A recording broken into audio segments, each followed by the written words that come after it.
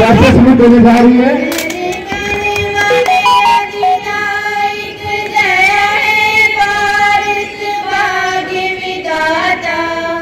पंजाब सिंध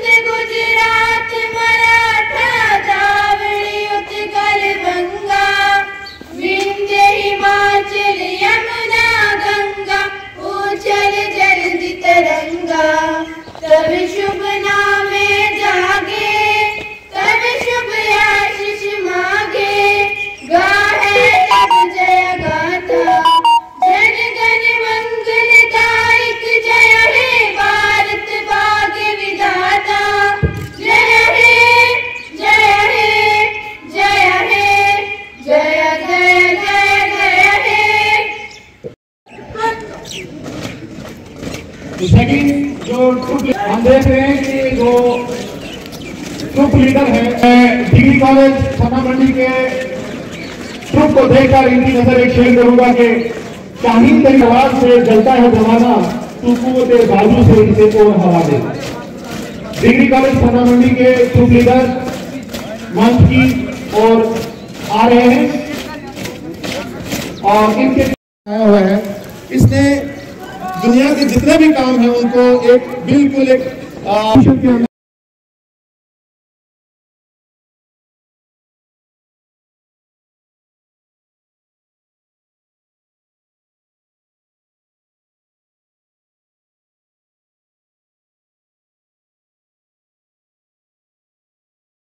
साहब, नमस्कार। और योम जमहूरिया की मुबारकबाद। सारे जहाँ से अच्छा हिंदुस्तान हमारा, हम बुलबुले हैं इसकी ये गुलस्तान हमारा। जैसा कि आप सबको मालूम है कि आज हम अपने वतन अज़ीज़ का तिहत्तरवा योम जमहूरिया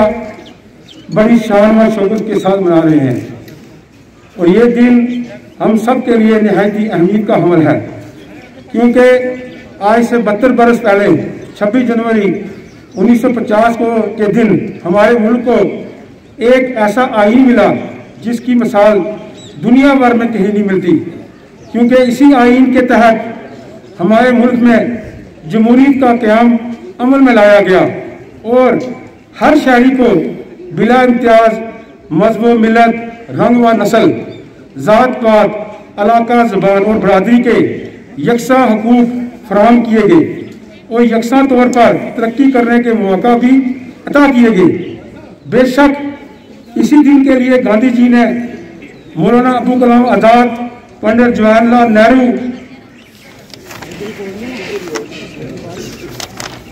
नेहरू खान अब्दुल गफार खान, नेताजी सुभाष चंद्र बोस जैसे अजीम रहनुमाओं की क्यादत में हज़ारों लाखों हिंदुस्तानी अवाम ने बिला इम्तियाज़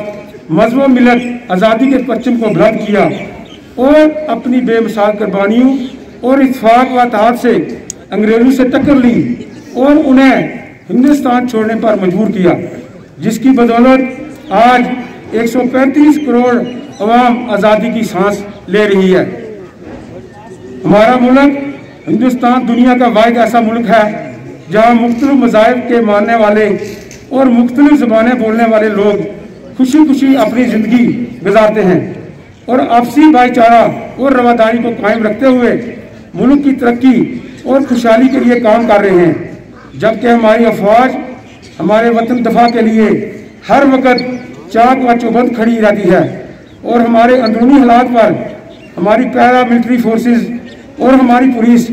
कड़ी नज़र रखे हुए है और मुल्क में अमन को बहार रखने में अपना किरदार बखूबी अंजाम दिया जा रहा है। किसी भी मुल्क की तरक्की का दारोमदार उसकी अमन पर है और और अमन ही तरक्की का वाहिद जामन है। जामन हो सकता है। मेरे हम वतनों, हमारा मुल्क सूफी संतू ऋषि मुनियों